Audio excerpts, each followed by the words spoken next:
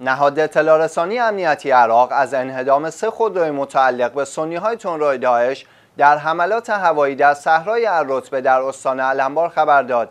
این نهاد در بیانیه اعلام کرد نیروهای هنگ مقاویر موفق شدند چند مخفیگاه زیرزمینی تروریست های داعش را منهدم کرده و سلاح و مواد منفجره آماده متعلق به تروریست ها را نیز در صحرای الرتبه کشف و ضبط کنند.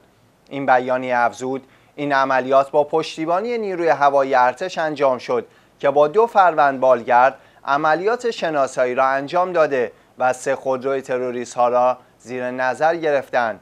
این بیانیه ادامه داد یکی از خودروهای تروریست ها مجهز به تیربار بود و به سمت یکی از بالگردها شلیک کرد که در نتیجه آن بالگرد اندکی آسیب دید اما به سلامت پس از انجام مأموریت به پایگاه خود بازگشت.